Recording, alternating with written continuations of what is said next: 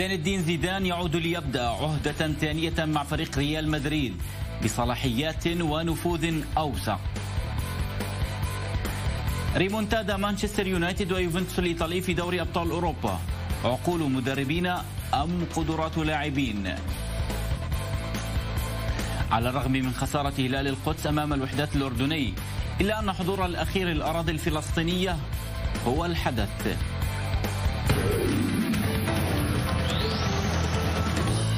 أهلا ومرحبا بكم في حلقة جديدة من البرنامج الرياضي خط التماس. بعد فوزه مع الفريق الملكي خلال موسمين ونصف بتسعة ألقاب غادر زين الدين زيدان ريال مدريد بعد جدل فني مع رئيس النادي فلورنتينو بيريز حول نفوذ بعض اللاعبين وإمكانية تعزيز الفريق. الأمر الذي استدعى الطرفين إلى الانفصال المؤقت الذي لم يدم أكثر من عشرة شهور. فشل في الدوري المحلي وإقصاء مبكر في دوري أبطال أوروبا. استدعى الرجل الأول في ريال مدريد للاتصال بصاحب الابتسامة الوسيمة الذي تحول إلى منقذ وصاحب في وقت الضيق. زيزو يعود إلى الملكي كأغلى مدرب في العالم. في يونيو الماضي. أعلن المدرب الفرنسي زين الدين زيدان رحيله عن الفريق الملكي ريال مدريد بعد خلاف فني مع رئيس النادي بيريز حول إحداث تغييرات مهمة في تشكيلة الفريق وانتداب بعض اللاعبين. رحيل لم يدم أكثر من عشرة شهور. حتى أيقن بيريز أن قراراته بإسناد مهمة التدريب على لوباتيغي وسولاري كانت خاطئة. قرارات أدت إلى سقوط الملكي في الدور المحلي وبدور أبطال أوروبا. العلاقة الدافئة بين الرجلين بالإضافة إلى حب وارتباط زيدان بمدريد. استدعت بيريز للضغط على زيدان العودة إلى سانتياغو برنابيو كأغلى مدرب في العالم بصلاحيات أكبر وبسلطة أقوى في مسألة ضم اللاعبين. صاحب الابتسامة الوسيمة يقف أمام مهام صعبة علما أن لا شيء يصعب على صاحب الخبرة. إعادة الابتسامة إلى غرفة الملابس والثقة لدى اللاعبين. والبدء في بناء فريق قوي ينافس في الدور المحلي ودور أبطال أوروبا في الموسم القادم.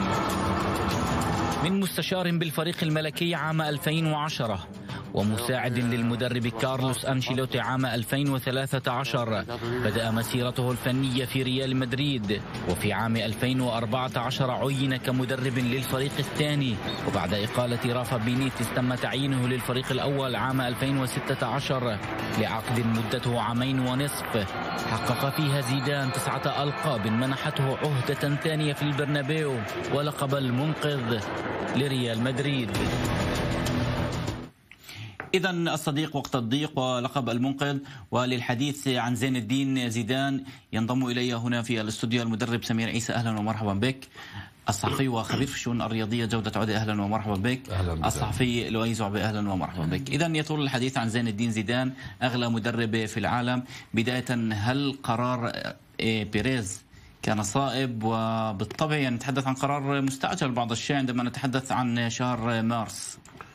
واضح إنه الفشل تاع المدربين اللي آه، قادوا فريق ريال مدريد هو اللي أجبر بيريز إنه يعود لزين الدين زيدان. على ما يبدو كمان الإعلام الإسباني ركز على قضية زين الدين زيدان. آه، كان بالحري إنه زين الدين زيدان كان شريك وقائد آه، مسيرة ريال مدريد بالفوز بثلاث ألقاب Champions League على التوالي. كان في عنده سيطرة واضحة على اللاعبين. زين الدين زيدان اللي بيميزه عن باقي المدربين اللي موجودين اليوم في الساحة الكروية في العالم إنه زين الدين زيدان في ريال مدريد عندما يدخل إلى الغرفة يأتي إلى اللاعبين من من فوق لأنه هو كان نجم ساطع كلاعب نعم. كره قدم عمليا هذا الشيء بأهله إنه في احترام من قبل اللاعبين لهذا المدرب هل زين الدين زيدان قادر بالطبع على إنقاذ ريال مدريد؟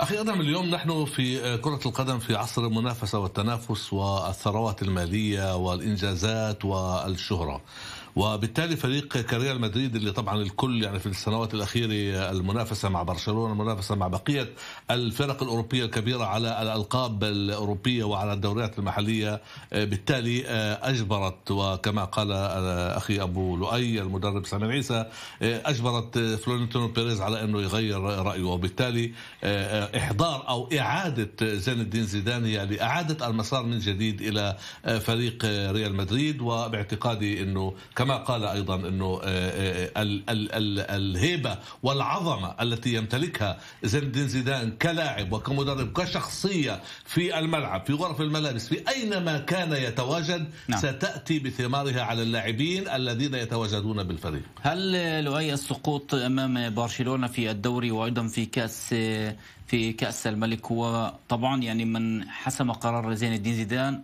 أم الخروج المبكر طبعا من دوري أبطال أوروبا؟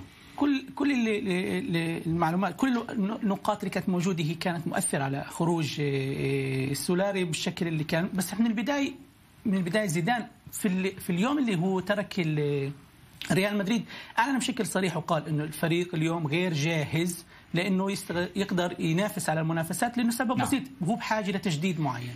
سنتحدث طبعا عن جزئيه فريق ريال مدريد وما طلبه أيضا زين الدين زيدان من رئيس النادي بيريز. ولكن قبل كل شيء دعونا نتذكر هذه اللحظات من المؤتمر الصحفي لزين الدين زيدان وإعلانه كمدرب رسمي لفريق ريال مدريد. نحن اليوم هنا لنقول مرحبا بمدربنا زين الدين زيدان. عزيزي زيزو شغفك بريال مدريد يعني أنك متجه للعودة إلى أفضل ناد في العالم. السبب أنني تركت النادي هو أنني كنت بحاجة إلى ذلك. في ذلك الوقت كنت مدربا لريال مدريد وكان النادي في حاجة إلي أيضا. أود أن أشكر سانتياغو سولاري على عمله كمدرب لفريق ريال مدريد حتى اللحظة الأخيرة. أظهر احترافه ومشاركته الكاملة وولائه للنادي. والآن السبب في أنني قررت العودة هو أن الرئيس اتصل بي. وبما أنني أحب الرئيس والنادي فأنا هنا.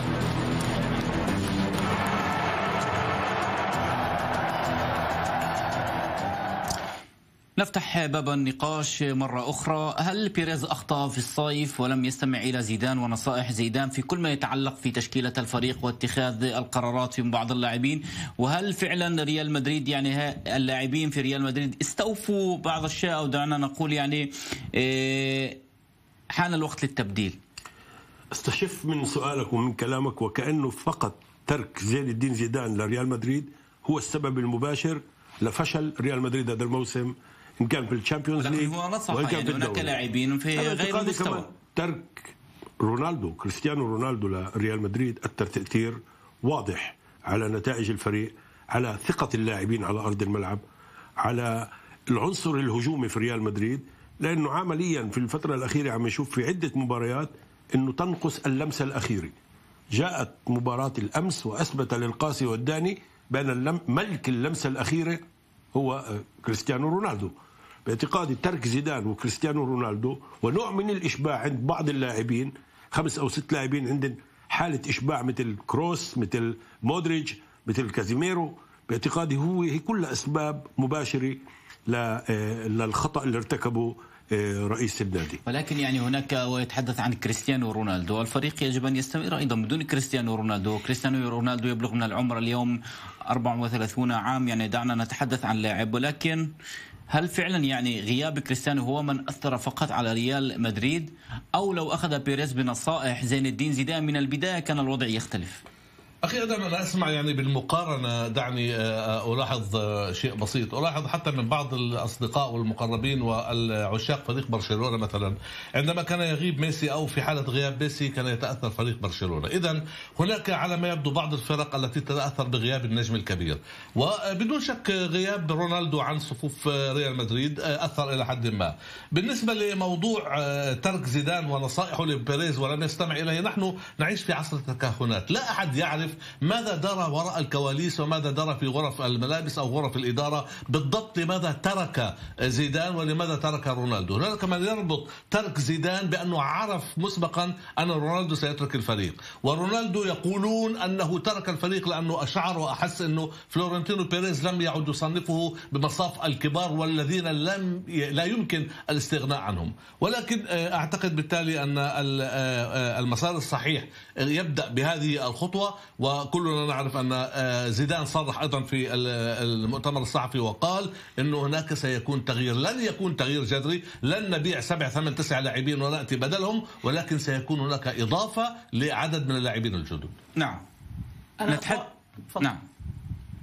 اتواصل أتواصل مع مع ما ما حكى الأستاذ جودة إنه بالمناسبة زيدان كان في عنده ثلاث محطات خلال السنة الأخيرة اللي كانت هي الفاصل الأهم بأنه يترك ريال مدريد. كان في البداية مع الحارس مرمى أتلتيكو بالباو اللي حاولوا إنه يمضوا معه ولكن هو رفض الفكرة. يوقع مع كيبا. كيبا كيبا, كيبا. المرحلة الثانية كانت عدم آه، رغبته في إنه بيل يستمر والشغلة الثالثة والأخيرة كانت رونالدو كريستيانو رونالدو. أعتقد إنه زيدان في الخطة اللي عملها وكان أكثر إنسان نعم. عبقري موجود. يعني أستاذ سمير تحدثت عن زين عن زين الدين زيدان وكان هو المنقذ. ولكن دعنا نتذكر يعني قبل سنتين لا أو ثلاث. تحدث لا, لا ولكن أنا تحدثت قبل سنتين أو ثلاث يعني هناك بعض اللاعبين لما لم يسمع أحد مثلا بأسينسيو أو دعنا نتحدث عن إيسكو أو العديد. وخلق جو. هل تأثير المدرب أو العامل الإيجابي داخل غرفة الملابس هو سر النجاح؟ آه بدون شك احتضان زيدان للاعبين امثال إيسكو اسينسيو باعتقادي اعطاهن جرعة ثقة كبيرة للاعبين صغار السن بحاجة لها وإحنا بنشوف اليوم كمان في جيل صاعد اليوم في فينيسيوس لاعب البرازيلي لاعب الطرف الرهيب. باعتقادي هدول اللاعبين بحاجة لنوع من الثقة. وبنشوف كمان يعني خذ على سبيل المثال إيسكو. أين إيسكو الآن؟ أين إيسكو؟ نعم. أحد لا يسمع على إيسكو لأنه علاقته الاجتماعية مع المدرب لوباتيجي غير جيدة. وهو نجم كبير في المنتخب. نعم وهو, وهو نجم كبير في المنتخب. نعم ولذلك يعني هذا يأخذنا طبعا إلى الموضوع الثاني في يتعلق هل المسألة تتعلق بقدرات اللاعبين بقدرات المدربين أو باللاعبين؟ يعني هذا هو النقاش اليوم من زين الدين زيدان إلى سولاري. ابقوا معي لننتقل إلى الموضوع الثاني.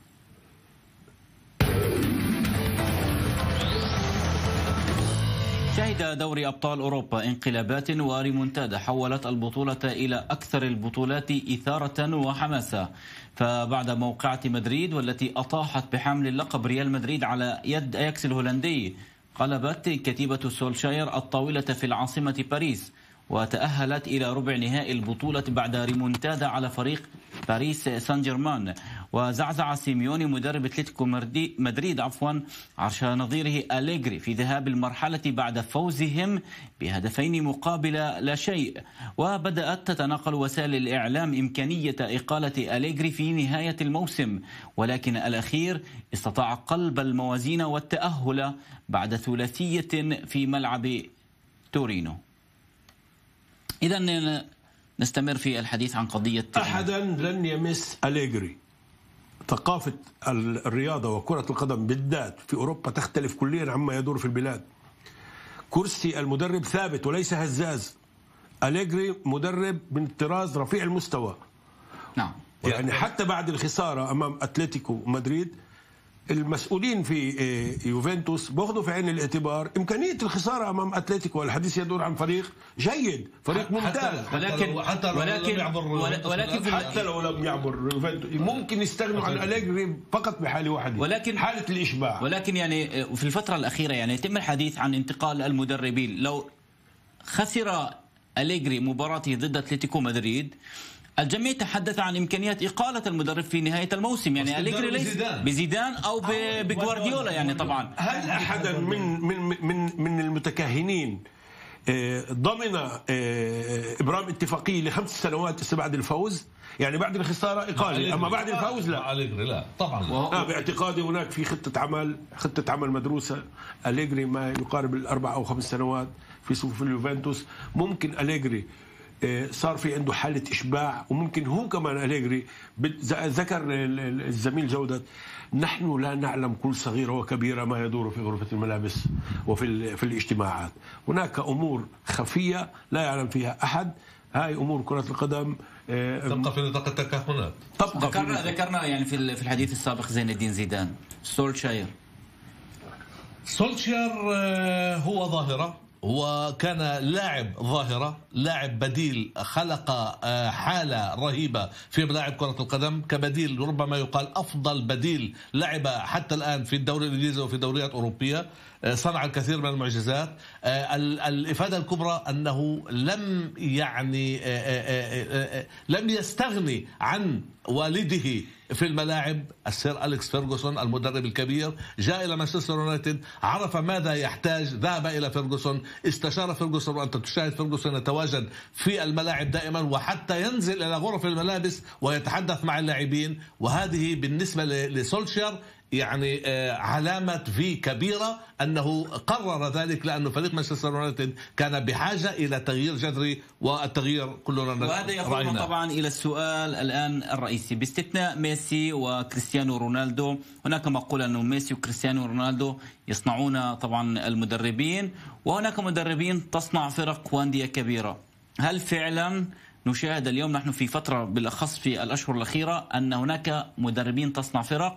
بعد إقالة مورينيو من مانشستر يونايتد ودخول سولشاير إلى مانشستر يونايتد عودة زيدان إلى ريال مدريد بعد فشل لوباتيجي وأيضا سولاري. وهذا سؤال السيف ذو حدين زي ما بيحكوها. جوارديولا شاهدنا البصمة الجميلة اللي عملها في برشلونة شاهدنا أيضا البصمة الجميلة اللي عملها في بايرن. اليوم نتيجة 7-0 ضد شالكي في دور ثمن النهائي في دوري الأبطال هي يعني نتيجة غير متوقعة. مانشستر سيتي خلال السنوات الأخيرة كان في هناك إنفاق كثير من المال وجلب كثير العديد من اللاعبين ومجرد وجود جوارديولا الآن هو أضاف إضافة وبصمة جديدة على الفريق. هل نعم هذا السؤال موجه إليك طبعا. هل فتره المدربين ام اللاعبين؟ لا يوجد مدرب باستطاعته صنع لاعب. يوجد لاعبين باستطاعتهم صنع مدرب. مدرب يستطيع أن يصنع فريق متكامل متجانس ينتشر بشكل سليم.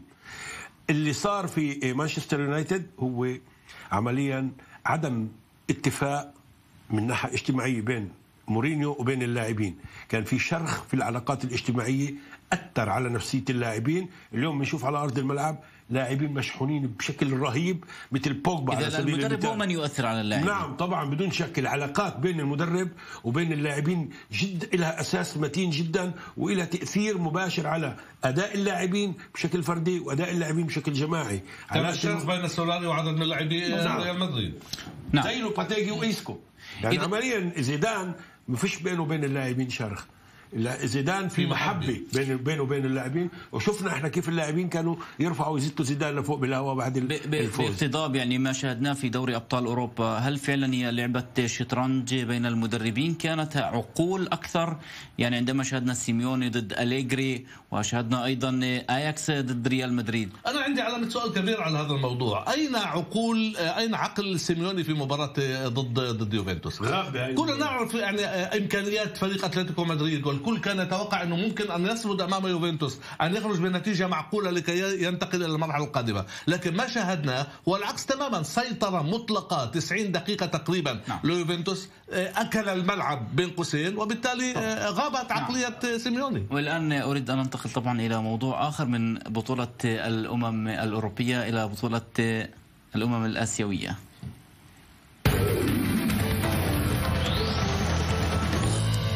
على الرغم من خسارة فريق هلال القدس في كأس الأمم الآسيوية لفريق الوحدات إلا أن الفوز الأكبر هو حضور الفريق الأردني الأراضي الفلسطينية. مباراة كرة قدم فاقت البعد الرياضي. فريق الوحدات يمثل المخيمات الفلسطينية في الشتات والهلال يحمل اسم مدينة القدس. استاد فيصل الحسين استضاف اللقاء التاريخي واحتضن جميع الفلسطينيين مع مختلف التسميات والتعريفات.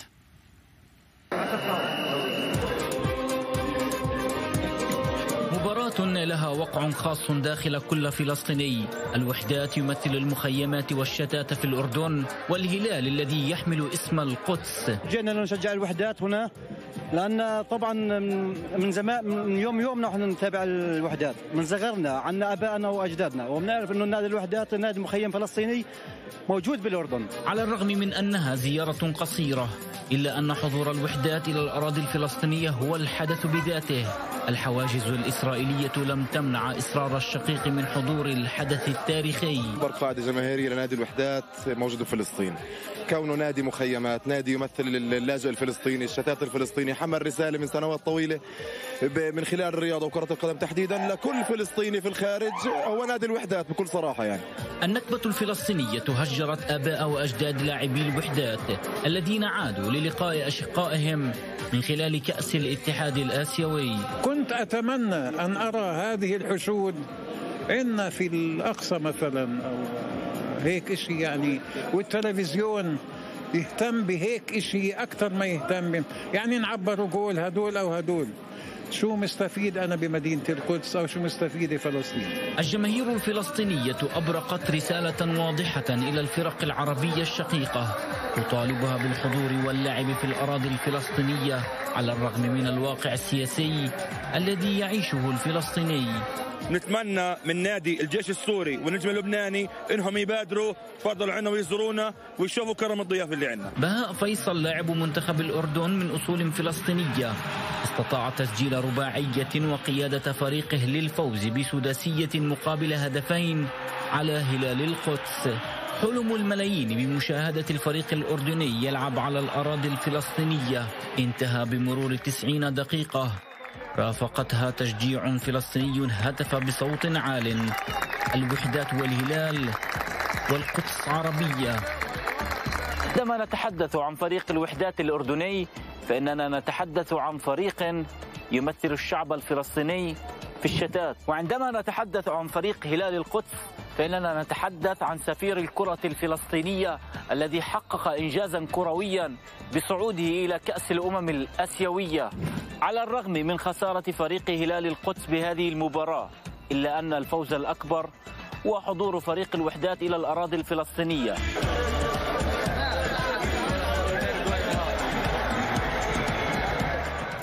نعم وعلى أصوات الأنغام الرائعة وطبعا هذه أغنية فريق الوحدات الأردني. نستمر هنا في الحديث. أنت دربت في السابق في الدور الفلسطيني طبعا مع فرق كبيرة وأيضا شاركت في هذه البطولة. نعم. ولكن طبعا يعني عندما نتحدث عن فريق فلسطيني دائما ما تمتزج المشاعر الدينية القومية والوطنية وبالأخص فريق هلال القدس وفريق الوحدات. أنا دربت فريق هلال القدس وكمان في البطولة الآسيوية للنوادي. أعتقد إنه بالنسبة للمباراة إنه هلال القدس اللي هو بطل فلسطين بطل الدوري الفلسطيني يخسر بنتيجة ستة أمام الوحدات على أرض ملعبه في القدس. أعتقد إنه هي آه، بتفسر الفارق الشاسع بين كرة القدم الأردنية وكرة القدم الفلسطينية. يعني سقف التوقعات في كرة القدم الفلسطينية لازم يهبط شوي نوعا ما.